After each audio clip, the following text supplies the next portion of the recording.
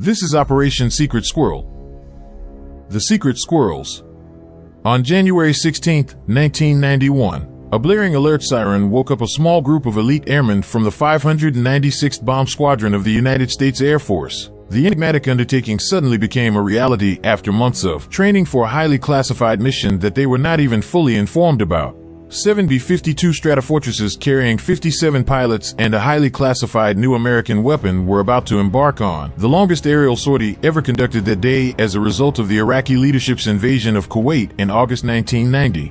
When Operation Senior Surprise was launched, it was dark, rainy, and windy. It would take a lot of work to keep the iconic B-52s in the air. The airmen were now faced with an even more daunting challenge after 15 hours of difficult conditions above the Atlantic and into the Middle East to accurately use the new weapon and hit all of their intended targets.